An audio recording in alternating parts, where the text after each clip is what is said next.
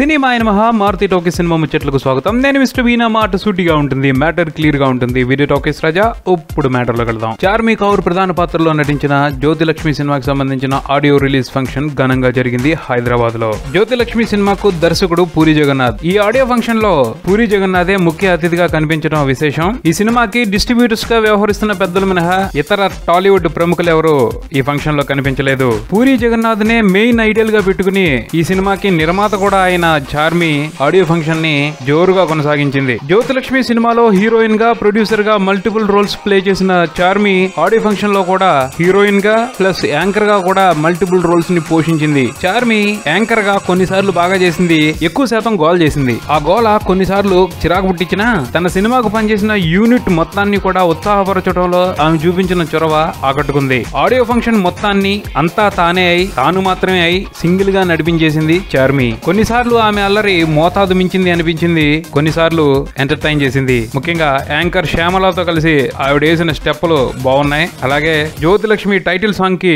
Performance చేసిన విధానం కూడా బాగుంది సినిమాలో పనిచేసిన వాళ్ళందరితో రొటీన్ స్కిట్ లేపించి కాస్త రొటీన్ నవ్వులే పండించారు స్టేజ్ మీద. పోతే సినిమాలో ఉన్న పాటలకి డాన్స్ వంటి వ్యవహారాలని ఈ ఆడియో ఫంక్షన్లో పెట్టుకోలేదు. దాని మూలంగా ఫంక్షన్ చకచకా జరిగిపోవడానికి అవకాశం ఏర్పడింది. ఆడియో విడుదల సినిమా యూనిట్ సభ్యుల సమక్షంలో పూరి జగన్నాథ్ చేతుల మీదుగా జరిగింది. దానికి ముందు సినిమా యూనిట్ సభ్యులు పూరి మీద భక్తిని చాటుకున్నారు. ఆయనకి గజమాల వేసి పూల కిరీటం పెట్టి జై పూరి జగన్నాథ్ జై పూరి జగన్నాథ్ అంటూ ఆయన పట్ల వారికి ఉన్న కృతజ్ఞతను చాటుకున్నారు. ఆడియో రిలీజ్ తర్వాత యూనిట్ సభ్యులందరూ చార్మిని పూరిని బాగా పొగిడారు. చార్మి ఈ సినిమాకు పనిచేసిన వాళ్ళందరికీ తన హృదయపు లోతుల నుంచి కృతజ్ఞతలు తెలియజేసింది. పూరి జగన్నాథ్ మాట్లాడుతూ ఈ జ్యోతి లక్ష్మి సినిమా వెనుక ఇరవై ఐదు సంవత్సరాల క్రితం కోరిక ఆరు సంవత్సరాల నిరీక్షణ ఉన్నాయని చెప్పుకొచ్చారు. జ్యోతి లక్ష్మికి చార్మినే ఎందుకు కరెక్ట్ అంటే సినిమా చూసిన తర్వాత మీకు అర్థమవుద్ది. ఈ సినిమా సక్సెస్ అవుతే మరిన్ని కొత్త తరహా సినిమాలు రావడానికి అవకాశం ఉంటుంది. కాబట్టి ఈ సినిమా హిట్ అవ్వాలని నేను కోరుకుంటున్నాను. ఈ టీమ్తో పనిచేయడం చాలా హ్యాపీగా అనిపించింది. చార్మి కష్టాన్ని మీరు సినిమాలో చూస్తారు. మళ్ళీ ఇదే టీమ్తో జ్యోతిలక్ష్మి టూ తీయాలని అనుకుంటున్నాను అని చెప్పేసి చాలా చక్కగా ప్రసంగించారు పూరి జగన్నాథ్. అలాగే ఆయన ప్రసంగంలో ఆటో జానీ గురించి మాట్లాడాలని మొదలుపెట్టి ఆపేశారు. ఇంకా తను నితిన్తో చేస్తున్న సినిమాకి ఈ సినిమా మ్యూజిక్ డైరెక్టర్ సునీల్ కశ్యప్ పనిచేస్తాడు అని చెప్పేసి అనౌన్స్ చేశారు. పూరి తర్వాత ఈ ఆడియో ఫంక్షన్లో ఆకట్టుకున్న వ్యక్తి సంపు తన ట్రేడ్ మార్క్ అమాయకపు కామెడీతో మళ్ళీ నవ్వించాడు. మొత్తంగా ఈ జ్యోతిలక్ష్మి ఆడియో ఫంక్షన్ గురించి మాట్లాడుకోవాలి అంటే చూసే జనాలకేమో గానీ ఆ సినిమాలో పనిచేసిన యూనిట్ సభ్యులు మాత్రం ఈ ఆడియో ఫంక్షన్ని బీభత్సంగా ఎంజాయ్ చేశారు. ఆ విషయం ఫంక్షన్ ఆద్యంతం కనిపించింది. ఫంక్షన్ మొత్తం కూడా జోష్గా సాగడానికి చార్మియే కారణం అని చెప్పుకోవచ్చు. పూరి జగన్నాథ్ చార్మి గురించి మాట్లాడుతూ ఆవిడ యాక్ట్రెస్ మాత్రమే కాదు మంచి అడ్మినిస్ట్రేటర్ అన్నారు. ఆ వ్యవహారం ఈ ఆడియో ఫంక్షన్ జరిగిన పద్ధతిలో కనపడింది చార్మి ఓ జాగ్రత్త పౌరులైన నిర్మాతగానే వ్యవహరించింది అనిపించింది. ఆడియో ఫంక్షన్ వరకు బానే ఉంది. మరి ఆడియో